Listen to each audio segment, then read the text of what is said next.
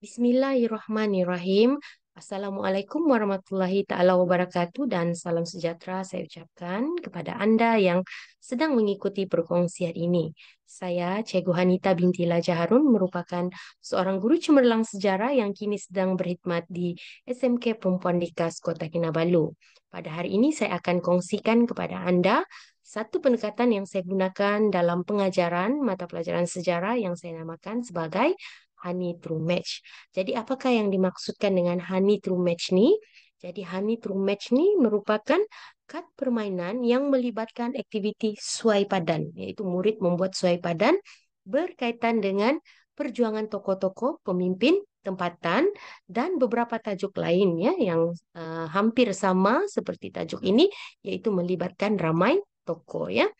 Jadi uh, gambar-gambar toko yang berkaitan ni uh, telah dilukis dan dicetak ya. Asalnya saya hanya ambil gambar daripada Google ya sumber Google tetapi disebabkan keperluan inovasi yang memerlukan originality untuk setiap produk yang kita hasilkan maka saya telah lukis dan juga uh, cetak kad ini kemudian menggunakan maklumat-maklumat yang ada di dalam buku teks itu saya susun semula sehingga jadilah seperti yang tertera di dalam screen ini ya. Jadi satu set honey true match ni yang sesuai digunakan untuk satu bilik darjah uh, yang mengandungi uh, uh, 6 hingga 7 kumpulan atau 35 hingga 40 orang murid mengandungi tujuh set kecil ya. Tujuh set kecil. Yang mana dalam tujuh set kecil tu ada sepuluh tokoh ya. Yang mana boleh digunakan secara individu berpasangan ataupun secara berkumpulan yang lebih ramai lah uh, lima hingga enam orang satu kumpulan ya. Dan setiap set kecil ini dihasilkan dalam warna yang berbeza-beza. Uh, kerana berdasarkan pengalaman apabila saya menggunakan satu warna saja iaitu warna putih apabila tercampur agak sukar bagi guru untuk uh, mengasingkan uh, dan menyusun kad ini ya. Jadi apabila dia terdiri daripada setiap set kecil itu terdiri daripada uh, warna yang berbeza maka mudah bagi kita untuk mengasingkan selepas diguna jika berlaku kad yang tercampur ya baiklah Uh, seterusnya, setiap toko dalam satu set yang kecil itu uh, uh, melibatkan uh, gambar ya seperti yang ini. Gambar toko tersebut dilukis. Kemudian ada maklumat yang berkaitan dengan nama toko, uh, tahun bila toko tersebut berjuang, mengandungi sebab-sebab dan juga perkembangan peristiwa ya perjuangan toko tersebut ya. Oke, seterusnya kita lihat di sini uh, contoh ya di dalam buku teks tingkatan tiga murid-murid ini dia belajar ada ramai tokoh sini, banyak tokoh. Jadi uh, topik ini saya dapati murid sukar mengingat dan menguasai ya sebab dia agak luas dan ramai tokoh ya. Dan sebab-sebab yang banyak dan berbeza ya. Jadi murid kadang keliru uh, tokoh contohnya Datuk Maharaja Maharaja Lela ni sebab-sebab dia ABC. Ha, kemudian uh, toko uh, contohnya Syarif Masahur ni sebab dia A, B, C. Ataupun sebab-sebab A ni toko yang mana satu. Ha, jadi murid agak keliru ya. Ha, jadi uh, kemudian dari segi perkembangan peristiwa semua toko ni pun berbeza. Ha, jadi sukar bagi murid untuk mengingat dan memahami ya. Jadi kesannya jawapan murid ketika uh, menjawab soalan ujian dan peperiksaan ni uh, bercampur aduk. Jadi kita uh, ingin uh, membuat penyelesaian lah bagaimana topik ini lebih mudah dikuasai oleh murid ya. Dan kalau kita lihat di sini ini adalah adalah uh, ujian pra yang saya jalankan yang melibatkan seramai 47 orang murid dan daripada 47 orang murid itu hanya 28 orang murid yang lulus, 19 orang murid gagal dengan grade purata mata pelajaran hanyalah 7.68. Jadi agak rendah lah ya. Jadi ini adalah uh, saya ambil uh, screenshot daripada buku teks yang mana uh, topik ini uh, melibatkan akan melibatkan murid uh, untuk membaca 8 muka surat 8 halaman yang agak detail. Uh, jadi uh, memang agak banyak dan sukar untuk dikuasai oleh murid ya. Tambahan pula masa pengajaran dan pembelajaran sejarah hanyalah uh, tiga masa dalam seminggu ya dengan uh, silibus yang begitu luas ya. Dan kalau kita lihat di sini ini adalah pendekatan saya sebelum menggunakan True Match uh, kerana disebabkan dia topik yang agak luas melibatkan ramai tokoh, saya menggunakan pendekatan uh, saya membuat persembahan PowerPoint dan murid mendengar diikuti dengan sesi soal jawab. Tetapi situasi ini kalau kita lihat secara jelas ya murid kaku ya eh, komunikasi sehala ya situasi agak membosankan dan murid uh, tidak banyak uh, apa uh, melakukan aktiviti yang membolehkan mereka melalui satu situasi pembelajaran yang bermakna untuk menguasai sesi uh, untuk menguasai isi uh, pelajaran ya. Jadi um, antara objektif ataupun tujuan saya menghasilkan true matching sudah tentulah saya mau memastikan murid uh, dapat meningkatkan penguasaan mereka. Uh, jadi uh, dengan ini boleh uh, mengatasi kekeliruan mereka ya. Kemudian membolehkan murid melalui satu situasi pembelajaran yang bermakna ya, yang mana mereka aktif berkomunikasi, bekerja sama, menyelesaikan tugasan yang diberi dan memahami isi pelajaran dengan baik. Dan yang penting juga sebagai seorang guru sejarah yang sering bersama-sama guru sejarah yang lain yang mana saya mendengar keluhan guru kita kekurangan uh, alat bantu mengajar, uh, sukar untuk mengajar topik uh, sebegini maka saya menghasilkan bahan ini untuk memudahkan guru, eh, pengajaran guru dan juga pembelajaran murid ya.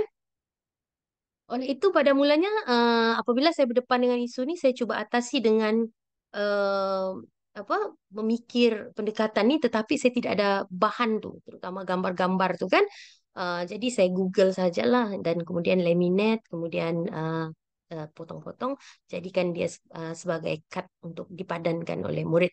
Tapi selepas itu saya mantapkan dia jadilah dia seperti ini ya yang boleh dipasarkan dan sebenarnya memang sudah dipasarkan. Nah ya um, yang lebih penting aplikasi di bilik daja kalau kita lihat di sini pada sesi permulaan murid dia akan susun semua uh, gambar toko. Kemudian dia akan match daripada gambar-gambar tuh siapa nama toko tuh dia akan cari kat nama tuh dan padankan. Kemudian dia akan tengok sebab tuh ya dan juga perkembangan peristiwa yang mana berkaitan dengan tokoh yang mereka sedang belajar. Jadi di sini uh, kita boleh laksanakan aktiviti ini mengikut tahap murid. Kita boleh bagi murid itu membuat rujukan buku teks kalau sekolah cikgu membenarkan uh, uh, apa membenarkan murid belajar di bilik ICT mungkin dia boleh Google dan sebagainya untuk membolehkan dia meneroka maklumat, mengetahui dan memahami topik ini kemudian membuat padanan yang betul ya. Kemudian dalam uh, Perkembangan seterusnya, setelah murid membuat padanan, kemudian mereka menyemak jawaban berdasarkan skema yang diberikan, murid-murid ini diberi peluang untuk membaca, menguasai, dan memahami kerana mereka akan membuat penerangan dalam kumpulan. Contohnya kalau dalam satu kumpulan ni ada 10 tokoh ya. Jadi setiap murid dalam kumpulan yang lima orang ni dia akan kuasai dua orang tokoh, dua tokoh ya, dua maklumat, eh, dua uh, maklumat dua tokoh. Jadi uh, selepas diberikan masa untuk membaca, memahami, menguasai, murid akan membuat penerangan seperti ini di dalam kumpulan masing-masing. Jadi murid yang membuat penerangan dia akan berdiri dah. Jadi yang lain ini dia akan mendengar. Jadi pada akhirnya semua murid akan membuat penerangan dalam kumpulan tuh dan mereka boleh mempelajari menguasai topik ini dalam masa yang lebih singkat. Ya, tapi uh, kalau kita lihat cara pembelajaran dia Guru hanya sebagai pemuda cara yang memantau, tetapi murid yang menyusun, meneroka, membaca, ya, menerangkan dan membolehkan mereka menguasai uh, kandungan mata pelajaran itu sendiri. Kemudian barulah kita uh, teruskan dengan aktiviti-aktiviti yang melibatkan murid berfikir dengan lebih mendalam tentang topik yang mereka telah pelajari yaitu menjawab soalan-soalan kemahiran berfikir ya seperti menganalisis menilai tentang perjuangan tokoh. Kemudian barulah disusuli dengan aktiviti pembentangan. Jadi kita dapat lihat ya uh, bagaimana um, uh, inovasi ini uh, mampu bukan saja menyelesaikan penguasaan murid tetapi mewujudkan satu situasi pembelajaran yang mana murid itu berfokuskan bahan itu sendiri ya berpusatkan murid berpusatkan bahan yang membolehkan murid melalui satu sesi pembelajaran yang bukan saja seronok tapi bermakna untuk membolehkan mereka menguasai topik ini dengan baik ya. Kemudian uh, impak dia sudah tentulah pencapaian murid selepas ujian uh, uh, pasca tuh kita dapat di sini uh, kita dapati di sini grade purata mata pelajaran tuh meningkat daripada 7,68 kepada 2,09 ini menunjukkan penguasaan murid berada pada tahap yang baik dan tiada murid yang gagal berbanding sebelum ini 19 orang murid gagal. Dan um, seperti yang kita dapat lihat di gambar tadi, murid fokus dan juga berpusatkan murid dan berpusatkan bahan sepanjang sesi ya. Dan maklum balas murid, ya, keseluruhan murid ini setuju dan sangat setuju bahwa pendekatan to match ini satu pembelajaran yang menyeronokkan dan membolehkan mereka menguasai isi pelajaran dan bersetuju sekiranya uh, pendekatan ini diteruskan untuk topik-topik yang lain, ya. Nah, jadi dengan itu saya telah menghasilkanlah ya uh, true match ini uh, bagi topik-topik yang uh, sesuai ya uh, dan juga mempunyai isu yang sama seperti uh, uh, set yang pertama tadi ya. Dan kemudian saya telah kongsikan secara meluas di peringkat uh, negeri kebangsaan dan antarabangsa uh, dalam kalangan guru-guru ya, khususnya macam contoh yang ini uh, seminar guru sejarah kebangsaan anjuran Universiti Malaysia Kuala Lumpur saya kongsikan dalam kalangan guru-guru sejarah dari seluruh negara ya. Kemudian diaplikasikan. Nah, ini yang lebih penting ya. Sudah diaplikasikan di beberapa sekolah ah, di seluruh negeri Sabah dan juga di beberapa negeri yang lainnya. Dan disebabkan keberkesanan produk ini atau pendekatan ini, maka pada akhirnya uh, dalam pertandingan-pertandingan inovasi, uh, produk ini mendapat beberapa kejayaan ya, yang sangat membanggakan. Dan uh, yang lebih penting juga disebabkan saya mendengar keluhan-keluhan guru yang kekurangan bahan, sukar mencari bahan, maka dalam buku yang kami tulis dalam buku iPro ini, saya uh, muatkan soft copy bahan ini. Ha, jadi guru-guru hanya hanya perlu scan sahaja, kemudian nanti boleh cetak dan boleh uh, gunting dan juga jadikan dia cut yang uh, mungkin lebih uh, apa ni laminate supaya dia menjadi cut yang lebih tahan dan cikgu-cikgu boleh guna terus di dalam uh, apa ni proses pengajaran dan pembelajaran. Percuma sahaja ya. Cikgu boleh dapat dari buku-buku terbitan iPro ini ya. Dan saya kongsikan juga pendekatan ini dalam buku PAK 21 yang saya tulis supaya guru-guru lebih mudah memahami uh, tentang konsep keseluruhan Pro Match ini dan bukan saja boleh difahami digunakan oleh guru sejarah juga oleh guru-guru mata pelajaran lain. So kalau di sekolah saya sendiri uh, pendekatan ini sudah digunakan oleh uh, mata pelajaran uh, eh, RBT, uh, bahasa Melayu dan juga bahasa Inggris ya. Dan uh, True Match ini saya gunakan juga saya modifikasi saya sesuaikan dengan uh, aktiviti dalam persatuan sejarah dan saya tulis dan terbitkan dalam modul co-curriculum persatuan sejarah dan juga dikongsikan dalam kalangan guru-guru sejarah. Dengan itu, uh, sebagai rumusan, penyediaan bahan dan perancangan aktiviti yang sesuai mampu memberi peluang kepada murid melalui satu sesi pembelajaran yang bermakna untuk menguasai isi dan juga menguasai kemahiran Contohnya kalau dalam mata pelajaran sejarah ini tentulah uh, kemahiran pemikiran sejarah dan juga kemahiran berpikir aras tinggi ya.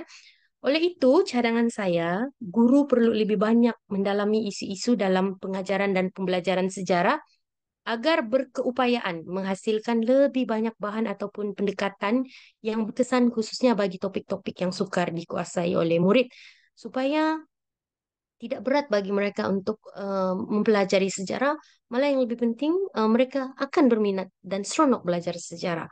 Dan saya akhiri dengan kata-kata oleh mendiang Profesor Emeritus Tan Sri Kuke Kim yang menyatakan pembelajaran sejarah boleh jadi menarik jika guru menyediakan program pedagogi yang sesuai.